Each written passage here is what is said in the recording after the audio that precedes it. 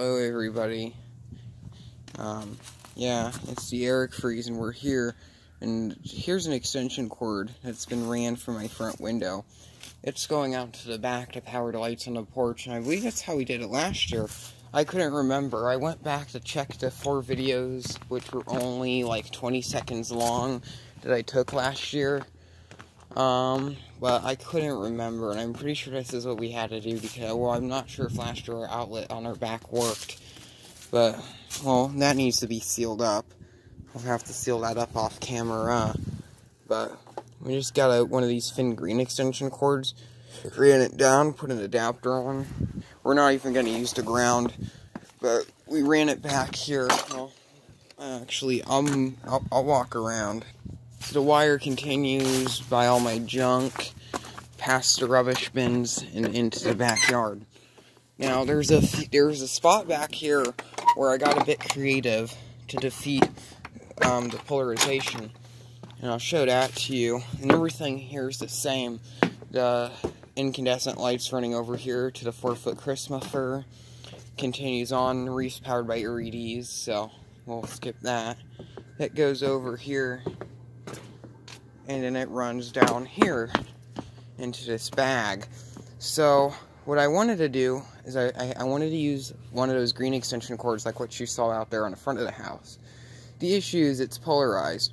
The end cap, the end plug that comes off of these lights is not polarized. And there's actually a bit of lights out on the strand. You have this one, there's one here, another one here. I may have to fix that if I can find extra lights. And it goes into this bag where there's a really old looking extension cord. This is a really, I have it plugged into an ancient extension cord, probably from like the 1960s or so. And that just runs up over here to the other end of this ancient extension cord, which is not polarized, to the LEDs that I have up here. So, my way of defeating the fuse, I mean, defeating the polarization here is by using an ancient extension cord. Um, I'm pretty sure not everybody has an ancient extension cord at their disposal to use, but hey, it's really nice to have. Um, and another thing, I'll show you what timer I'm running these off of. Actually, the other thing is the lights I have here in the, in the kitchen. We will remove the boots because I have no need to go outside or I'll have to put a bag on that other contact thing. Lower down that Christmas music. Um, so I have these mul I have the multi modes put up. These are going around. They go attached there with a 3M hook, and they continue on with various other 3M hooks until they get over here to the end.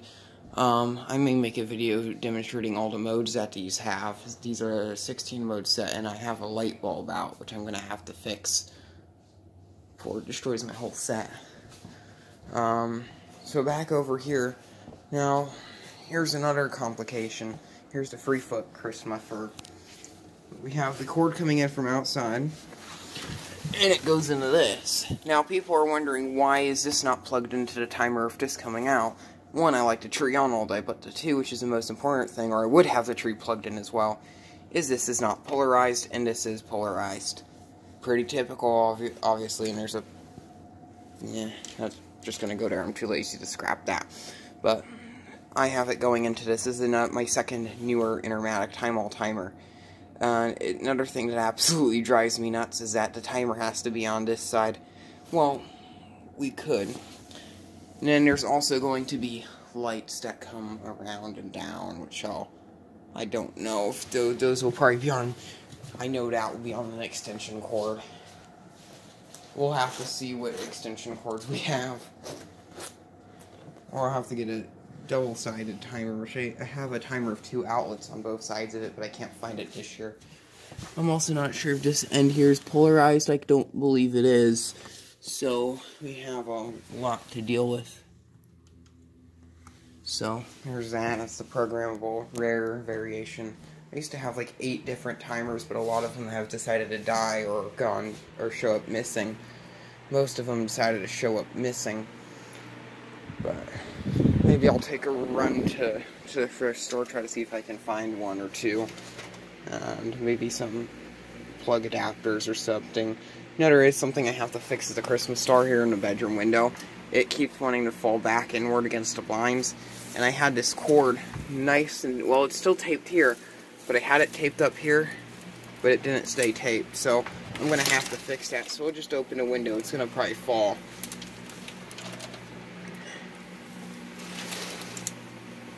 Actually, I think I'll pause the camera and fix this. And I'll be back after I fix this. Hello, hello everybody, it's the Eric Friesen back here. Um, so the star is back up in the window. It's in there pretty well. I had to do a lot of taping and wire management, as you can see. Uh, let me remove that. That's unnecessary. So I did that. That's running down here to the junction. And then we'll close shade. I want this out on the outside part of the shade so it doesn't get shown in the window. And oh yeah, I have to re I have to place the window candle back in.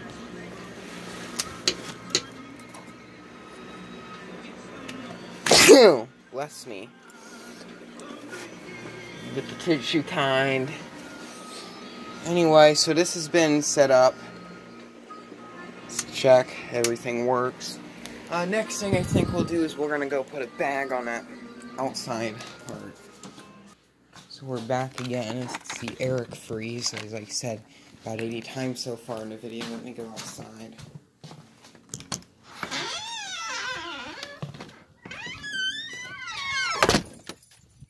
Think of doing a bit of expansion.